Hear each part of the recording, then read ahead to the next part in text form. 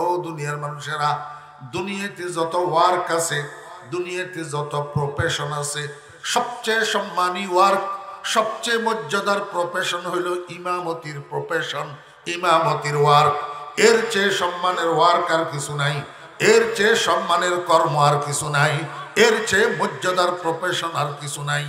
দুনিয়ার মানুষেরা, তুমি মসজিদে যাইবা, তুমি যত বড় ধনী আর যত বড় ইন্ডাস্ট্রিয়াল হও না কেন, তুমি যত বড় পদের মালিক হও না কেন, যত বড় অফিসার হও না কেন, যত বড় শিক্ষিত হও না কেন, যত বড় নেতা হও না কেন, তুমি যত বড় ধনী হও না কেন, খবরদার, মসজিদে যতক্ষণ থাকবা, ততক্ষণ ইমাম সাহেবের মর্যাদার কাছে তোমার মর্যাদা কিছু না। মাফ করবেন আমাকে আমি তো শুধু আপনাদেরকে বোঝানোর জন্য বলতেছি, কারও কপালে কিছু লেখা নাই। আমি জানি না আপনারা কে কোন মসজিদের সভাপতি, কোন মসজিদের সেক্রেটারি, কোন মসজিদের কে কেশিয়ার, কোন মসজিদের কমিটির সদস্য, আমি জানি না। কিন্তু আমি আপনাদেরকে বুঝাইতে চাই, আমাদের দেশের কিছু মানুষের বদভ্যাস আছে। মসজিদ কমিটির সভাপতি সেক্রেটারি আর কেশিয়ার আর কমিটির সদস্য হইতে পারলে মনে করে বড় তাল গাছ হইয়া গেছে, মনে করে বড় বট গাছ হইয়া গেছে। এইবার মসজিদে যাইয়া মাতাব্বরি করা ছাড়া পেটের ভাত হজম হয় না। ইমাম মোয়াজ্জেনের সাথে, ইমাম মোয়াজ্জেনের সাথে গরু ছাগলের মতো ব্যবহার করে। আমি আপনাকে আমি আপনাকে বুঝাইতে চাই, খবরদার মসজিদের সভাপতি হওয়ার সেক্রেটারি হওয়া, মসজিদ কমিটির সদস্য হওয়ার, মসজিদের কেশিয়ার হওয়াকে খেদমত মনে করবেন, নিজেকে মসজিদের খাদেম মনে করবেন, মাতাব্বর মনে করবেন না। যদি মাতাব্বর মনে করেন, মনে রাখবেন, সারা জীবনের আমল সব নষ্ট হইয়া যাবে। আয়াতের মাওরাত যদিও খাস, হুকুম কিন্তু আম। আর এই আইন মাসাজিদ, হাজরাত ওলামায়ে কেরাম কিন্তু ورثت الانبیاء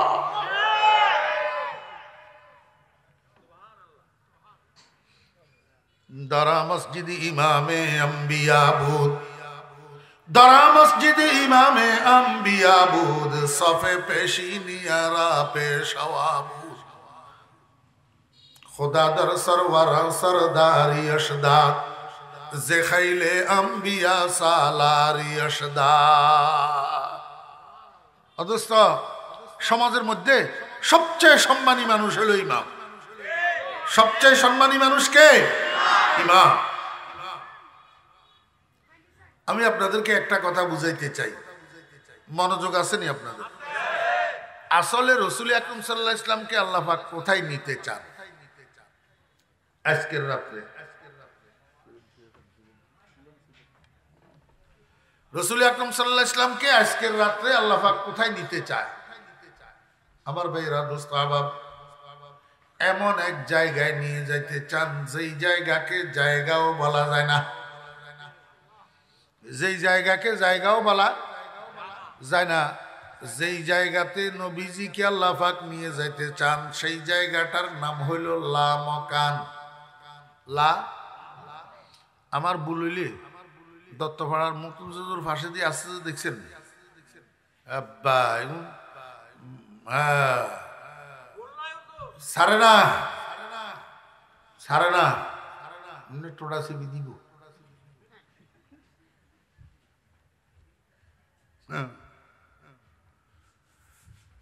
আল্লাহ ফাকবুল আলমিন নবীজিকে যেখানে নিয়ে যেতে চান, সেই জায়গাটার নাম হইল লা মকান। লা মানি নয়, মকান মানি জায়গা। লা মকান মানি জায়গা নয়। জায়গা? নয়। কারণ কি? একটা জায়গা জায়গা হওয়ার জন্য এটার একটা চৌহদ্দি লাগে, একটা সীমা রেখা লাগে। ডাইনে কি, বামে কি, উত্তরে কি, দক্ষিণে কি, পূর্বে কি, পশ্চিমে কি? লাগেনি? একটা জায়গা জায়গা হওয়ার জন্য এটার দৈর্ঘ্য লাগে, প্রস্থ লাগে। দৈর্ঘ্য প্রস্তরে গুণ করিয়া তো জায়গার পরিমাপ করা হয়। ঠিক নেই? আমার ভাই রাধস্তাবাব যেই জায়গার মধ্যে চৌহদ্দি থাকে আর দৈর্ঘ্য প্রস্থ থাকে, এটা সীমাবদ্ধ হয়। এটা কি হয়? সীমাবদ্ধ হয়। তো সীমাবদ্ধ জায়গার মধ্যে বস্তু যেটা থাকে, সেটাও সীমিত হয়। এখন আল্লাহাক যেখানে থাকেন, সেটা যদি জায়গা হয়, তাহলে জায়গার সীমাবদ্ধতার কারণে আল্লাহ পাকের জাত সীমাবদ্ধ হওয়া লাগবে। অথচ আল্লাহর জাত তো সীমাবদ্ধ নয়, বরং অসীম। বরং কি? লা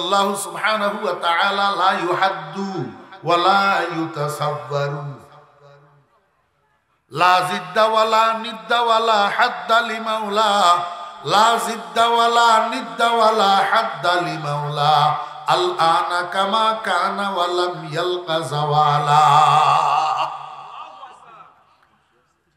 সীমিত না অসীম? আমরা সীমিত না অসীম? আমরা সীমিত। অসীম, এই অসীম। এই জন্য আল্লাহ যেখানে অবস্থান করেন সেটাকে জায়গা বলা যায় না। সেটার নাম হইল লামকাত কি? লামকা পর ঘর বানায়ার নে। লামকা পর ঘর বানায়ার নে। তুর পর জলওয়া দেখায়ার নে। মকানে আফতে খালি আজ মকানিজ। কেতন মাহরাম না বুদা যাওয়া জানিস আল্লাহ পাক আল্লাহর বন্ধুরে কোথায় নিয়ে যেতে চায়? লামকান। মনোযোগ আছেন জি? আমার বেইরা দোস্ত, আবাব, আপনারা যদি এখান থেকে ঢাকা যাইতে চান, এখান থেকে যদি ঢাকা যাইতে চান, তাহলে বায়া কোনটা হইয়া যাবেন হয় বেলানগর না হলে সাহেব প্রতাপ? বায়া টাচ করতে হবে না? বায়া ছাড়া যাইতে পারবেন পারবেন না। তো আল্লাহ পাক যে আল্লাহর বন্ধুকে লামকান নিয়ে যাইতে চায় বায়া জায়গা কোনটা? বায়া জায়গাটার নাম হলো সিদরাতুল মুনতাহা। বায়া জায়গাটা? সিদরাতুল মুনতাহা। আমার দোস্ত আবাব, সিদরাতুল মুনতাহা এটা কোথায়? এটা হলো মক্কা শরীফের যে খানায় কাবা। গোটা পৃথিবীর মিডল পয়েন্ট। Middle point. এই খানায় কাবা বাইতুল্লাহকে বানানোর আগে আল্লাহ রব্বুল আলমিন জিব্রাইলকে দিয়া গোটা পৃথিবীকে পরিমাপ বানাইয়া সেন্টার অফ ওয়ার্ল্ড নির্ধারণ করছেন। সেন্টার অফ ওয়ার্ল্ড নির্ধারণ করি এই গোটা পৃথিবীর মিডল সেন্টারে খানায় কাবা বানাইছেন। আল্লাহর হাবিব জনাব রসুল্লাহ সাল্লাহ আলী সাল্লাম বলেন, এই খানায় কাবা থেকে সুইচের মতো সোজা উপরে এক লক্ষ পাঁচ হাজার বছরের রাস্তার দূরত্বে উপরে অবস্থিত সিদ্ধাতুল মন্তাহা।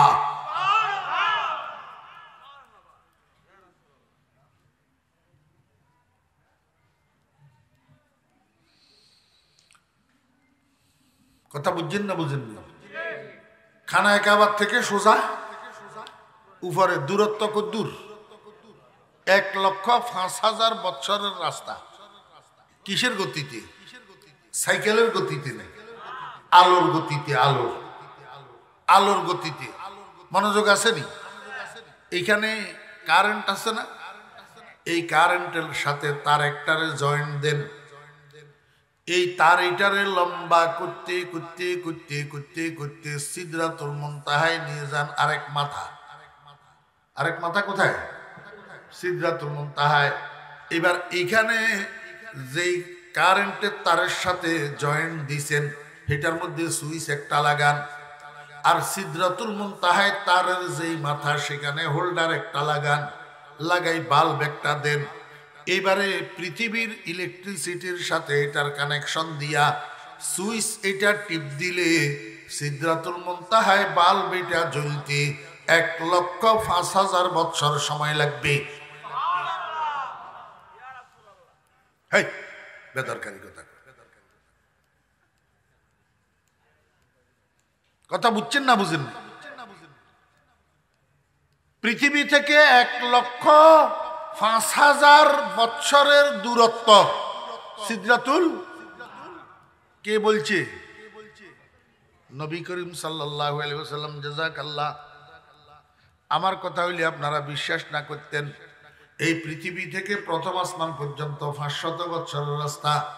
প্রথম আসমান থেকে দ্বিতীয় দ্বিতীয় আসমান পর্যন্ত পাঁচশত বছরের রাস্তা। আল্লাহ একবার হ্যাঁ? সপ্তম আসমান থেকে, সপ্তম আসমান থেকে সিদ্ধাতুল মন্তাহা পর্যন্ত সত্তর হাজার বছর কত হাজার বছর সত্তর হাজার বৎসর। আমি আপনাদেরকে যেই কথাটা আসল বুঝাইতে চেয়েছিলাম সেটা হইল, এত দূরের ভ্রমণ আল্লাহ আকবার। এত দূরত্বের সফর। যদি রসুল আকরম সাল্লাহ সফর এটা শুরু কোথার থেকে? মসজিদে হারাম থেকে? কোথার থেকে শুরু? মনোযোগ আছে নি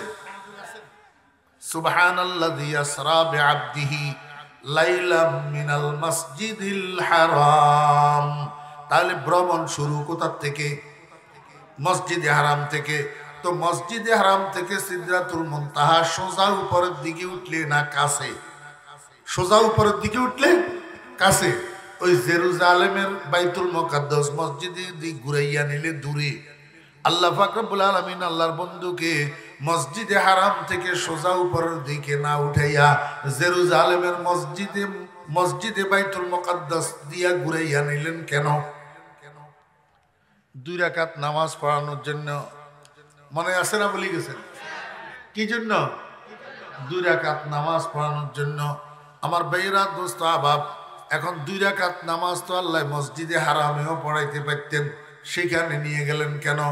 ও বেইরা আপনারা যারা হজে গেছেন, ওনারা দেখছেন, বিশেষ করে নব্বই এর দশকের আগে যারা মক্কা শরীফ গেছেন, হজে অথবা উমরায়, তারা ভালো করে দেখছেন যে খানায় কাবাটা চতুর্দিকে পাহাড় চতুর্দিকে পাহাড়ের তলদেশের মধ্যে খানায় কাবা। পাহাড়ের পাদদেশ। পাহাড়ের? পাদদেশ। চতুর্দিকে পাহাড়। আমার বেইরা দোস্ত, আবাব, মসজিদে হারাম বলা হয় বাইতুল্লার চতুর্দিকের জায়গাটাকে। তখনও পর্যন্ত বাইতুল্লার চতুর্দিকে পাহাড়ের পাদদেশ, যেই জায়গাটা তলা, এটার মধ্যে সোয়া লক্ষ মানুষ ধারণ করার মতো জায়গা ছিল না। জায়গা? অথচ ওই জেরুজালেমের মসজিদে আকসা, সেটা তখনও নির্মিত ছিল, সম্পূর্ণ রেডি কারণ ওই মসজিদটার বানানেওয়ালা নির্মাতা হলো আল্লাহ নবী হজরতে সোলাইমান আলহি সালাম। এখন সোলাইমান আল্লাহ ইসলাম আমাদের নবীজির আগে আসছে, দুনিয়াতে না পরে। আগে। অতএব নবীজির দুনিয়াতে আসার আগে মসজিদ এটা নির্মাণ হয়েছে। বর্তমানে যে প্রশস্ত পরিসর আছে, তখনও সেই প্রশস্ত পরিসর ছিল। সেখানে সোয়া লক্ষ মানুষ অনায়াসে নামাজ আদায় করতে পারে। এই জন্য আল্লাহর বন্ধুকে আল্লাহ ফাকরাবুল আলমিন নবী, রসুলদের ইমামতি করার জন্য নিয়ে গেছেন বাইতুল মকাদ্দাস মসজিদে। এখন একটা কথা আমি আপনাদেরকে বুঝাইতে চাই। আল্লাহ ফাকরাবুল আলমিন আল্লাহর বন্ধুকে যে সফরটা করাইতেছেন এই সফরটা দুই ভাগে বিভক্ত। একটার নাম এসরা আর একটার নাম মেয়েরাজ। এসরা হইল ভূমি থেকে ভূমির সফর যেটা মক্কা শরীফ থেকে বাইতুল মোকাদ্দাস, আর মেয়েরাজ হলো বাইতুল মোকাদ্দাস থেকে উপরের দিকে। দুই ভাগে বিভক্ত। দুই ভাগে বিভক্ত। আল্লাহ ফাকরাবুল আলমিন আল্লাহর বন্ধুকে উপরের দিকে সফর করানোর আগে, মেয়েরাজ শুরু করানোর আগে দুই রাকাত নামাজ কেন পড়াইলেন? উম্মতদেরকে এই কথা বোঝানোর জন্য, হে আমার বন্ধুর উম্মতেরা, তোমাদের সামনে যত জটিল, কঠিন সমস্যা যেই কোনো হাজত যেই কোনো প্রয়োজন যেই কোনো বিপদ, আপদ, রোগ, ব্যাধি, যা কিছু আসবে, সব কিছুর সমস্যার সমাধানের একমাত্র উপায় দুই রাকাত সলাতুল হাজত দুই রাকাত? আমার বেইরা দুস্তাবাব আপনারা হাদিস শরীফ খুলে দেখেন নবীজির সাহাবিগণের মধ্যে এই অভ্যাস ছিল। খড়ম পায়ে দিতেন খড়ম, এই খড়মের বইলা খড়মের খুঁটি ভাঙ্গে গেছে। এই খুঁটি ভাঙছে, সঙ্গে সঙ্গে অজু করি আল্লাহ একবার দুই রাখার সলাতুল হাজত পড়ি। রব্বুল আলমিন, আমার খড়মের খুঁটিটা ভাঙ্গি গেছে মাওলা, তুমি আরেকটা খুঁটির ব্যবস্থা করে দাও। সাহাবাই সকল সমস্যার সমাধান বাহির করতেন, নামাজ দিয়া। সকল বিপদের থেকে উত্তরণ করতেন, নামাজ দিয়া অদুস্ত আর আমরা তো এখন নামাজ বুঝি না, আল্লাহ ফাক বুঝি না। আল্লাহর কাছে দোয়া বুঝি না, মানুষের দরজায় দরজায় যাইয়া ঠোকর খাই। এই কথা বোঝানোর জন্য আল্লাহ ফাক রব্বুল আলমিন আল্লাহর বন্ধুর মেহরাজের সফরটাকে দুই রাকাত সলাতুল হাজত নামাজ দিয়া শুরু করেছেন কয় বন্ধু, দুই রাকাত সলাতুল হাজত পড়ি, উপরের দিকে উঠেন। কারণ এটা কোনো ভূমির সফর না, এটা কোনো ফানির সফর না, এটা সম্পূর্ণ মহাশূন্যের সফর, ক্রিটিক্যাল ট্যুর। অতএব দুই রাকাত নামাজ পড়ি, উপরের দিকে উঠেন, দেখবেন আল্লাহর রহমতে পানির মতো সহজ হইয়া যাবে। এবার বলেন, দুই রাকাত নামাজ, রসুল আকরম সাল্লাহু আলী ওয়াসাল্লাম একাও তো ভর্তি পারতেন জামাতে কেন পড়াইলেন? দুনিয়ার মানুষকে, নবীজির উম্মতকে এই কথা বোঝানোর জন্য, হে আমার বন্ধুর উম্মতেরা, তোমরা যারা পুরুষ আছো, তোমাদের নামাজ ঘরে নয়, তোমাদের নামাজ মসজিদে, তোমাদের নামাজ একিলা নয়, তোমাদের নামাজ জামাতে। বুঝছেন না বুঝেন নাই? আল্লাহ আকবার। এই জন্য আল্লাহর হাবিব জনাবে মোহাম্মদুর রসুল্লাহ সাল্লাহ সাল্লামকে আল্লাহ ফাকরুল আলমিন মেয়েরাজের সফরটা শুরু করেছেন কি দিয়া? দুই রাকাত নামাজ দিয়া। বন্ধুরা আমার, মনোযোগ আসেনি শেষ, কথা শেষ। রসুল আকরম সাল্লাহ ইসলামের মেয়েরাজের ভ্রমণ শুরু হয়েছে তো দুই রাকাত নামাজ দিয়া। শেষ হয়েছে কি দিয়া? যারা মেয়েরাজের ঘটনা বর্ণনা করে লম্বা ঘটনা তো সময়ের অভাবে পুরা করতে পারে না। আপনারা তো শুধু শুরুর নামাজটা সম্পর্কে জানেন, শেষেরটা জানেন না। শেষটা হইল রসুল আকরম সাল্লাহ মেয়েরাজ শরীফ যেই রাস্তায় গেছেন, আবার ফেরত আসছেন সেই রাস্তায়। ফেরত আসছেন কোন রাস্তায়? ওই রাস্তায়। আমার ভাইরা বাইতুল মকাদ্দাস মসজিদের থেকে রফ রফ যুগে উপরের দিকে উঠছেন। আবার সেই রফ রফ যুগের নিচের দিকে আসছেন। যেই মসজিদে আকসার থেকে উপরের দিকে উঠছেন, সেই মসজিদে আকসাতে আবার আসি নেমছেন। নবীজি, মেয়েরাজের সফর শেষেই আল্লাহ একবার মকান ঘুরিয়া, জান্নাত জাহান্নাম পরিভ্রমণ করিয়া আবার যখন বাইতুল মুকাদ্দাসে এসছেন আল্লাহ পাকের শোকর আদায় করার জন্য আবার দুই রাকাত নামাজ পড়ছেন। আগেরটা ছিল সলাতুল হাজত, এখন একটা হইল সলাতুল শোকর। সলাতুস ও বন্ধুরা, আল্লাহ একটা সন্তান দান করছেন, ফুটফুটে চাঁদের মতো দুই রাকাত শোকরের নামাজ পড়েন। আল্লাহাক একটা ব্যবসা দিছে, কয়েক লক্ষ টাকা ইনকাম হয়েছে দুই রাকাত শোকরের নামাজ পড়েন। আল্লাহাক একটা পদে বিজয়ী করছে, দুই রাকাত শোকর আদায় করেন। এখন তো আমরা আল্লাহাকের শোকর আদায় করতে জানি না, ইতরামি করতে জানি। আল্লাহ কয় শোকর আদায় করবি, আমি তোকে ফদে অধিষ্ঠিত করব না, শুধু ফদকে টিকসই করে দিব। আর যদি শোকর আদায় না করি, ইতরামি করবি, তো আজকে কপালে ফুলের মালা জুটলে আগামীকাল জুতার মালা মালা জুটবে। মনে রাখিস? যদি ইত্রামি করস, আজকে যারা সেরিউট দিবে, আগামীকাল তারা হ্যান্ডকাপ লাগাইয়া রিমান্ডে নিয়ে বেতাবে। কেন বুঝো না বন্দা? লাইন শাকার তুমলা জিদান্নাকুম ওয়ালা ইন কাফারতুম ইন্না আযাবি লাশাদীদ। সালাতুস শুকর। মেরাজের ভ্রমণের শুরুতেও নামাজ, শেষেও নামাজ, মাঝখানেও তো নামাজ। মাঝখানে কি? নামাজ। আল্লাহ ফাকরাবুল আলমিন আল্লাহর বন্ধুকে কি হাদিয়া দিয়া দুনিয়াতে পাঠাইছেন? পাঁচ ওয়াক্ত নামাজ, পাঁচ নামাজ। মেয়েরাজের ভ্রমণের শুরুতেও নামাজ, শেষেও নামাজ। মাঝখানেও নামাজ। আল্লাহ ফাক দুনিয়ার মানুষকে বুঝাইতে চায়, আমার আমার বন্ধুর উম্মতেরা, তোমরা যারা মুসলমান, তোমাদের জীবনের এক অপরিহার্য সাফটার হলেও ফাঁসওয়াক্ত নামাজ। খবরদার, দুনিয়ায় ছাড়ি দিবা কিন্তু নামাজ ছাড়বা না। কেন? নামাজ হলো ডিভাইডার। নামাজ হলো কি? ছোট্ট এই কথাটা বলি শেষ। এই কথাটা বললে আমার ভাইয়েরা, দোস্ত, আবাব একজন নামাজি মানুষের কপালে সেজদা করেনি। উমা, মনোযোগ নেই। কপালে সিজদা করে, নাকে সিজদা করে, হাতে সিজদা করে, হাঁটুগুলায় সিজদা করে, পাওগুলায় সিজদা করে। একটা হিন্দুর ছেলে রমেশ বাবুর পোলা, এর কপালেও সিজদা করে না, নাকেও সিজদা করে না, হাতেও সিজদা করে না, হাঁটুও সিজদা করে না, পাও সিজদা করে না। তুই রমেশ বাবুর ফোলা তো এমনি হিন্দু। আর সেজদা না করার কারণে হের কপাল হিন্দু, হের নাক হিন্দু, হের হাত হিন্দু, হের হাঁটুও হিন্দু, হের পাও হিন্দু। ওরে মুসলমানের সন্তান, তুমি যে মুসলমানের ঘরে জন্ম নিছ, কিন্তু নামাজ না পড়ার কারণে তোমার কোফালটাও হিন্দু, তোমার নাকটাও হিন্দু, তোমার হাতগুলাও হিন্দু, তোমার হাঁটুগুলাও হিন্দু, তোমার পাউগুলাও হিন্দু। রমেশ বাবুর ছেলের যেরকম কপালে সিজদা করে না, তুমি মুসলমানের বাচ্চা তোমার কপালেও সিজদা করে না। শিক্ষিত হোক, শিক্ষিত অশিক্ষিত হোক, ধনী হোক, গরিব হোক, আল্লাহ আকবার, উঁচু লেভেলের, নিচু লেভেলের, আমির আর কুমির, আল্লাহ আকবার, যেই হোক, মুসলমানের সন্তানের জন্য, মুসলমানের জন্য ফাঁসওয়াক্ত নামাজের চেয়ে উত্তম আর কিছু নাই, শ্রেষ্ঠ আর কিছু নাই, অপরিহার্য আর কিছু নাই এই জন্য আমার ভাইরা এতদিন বুঝি নাই মুসলমানের সন্তান হইয়া নামাজ ছাড়ছি।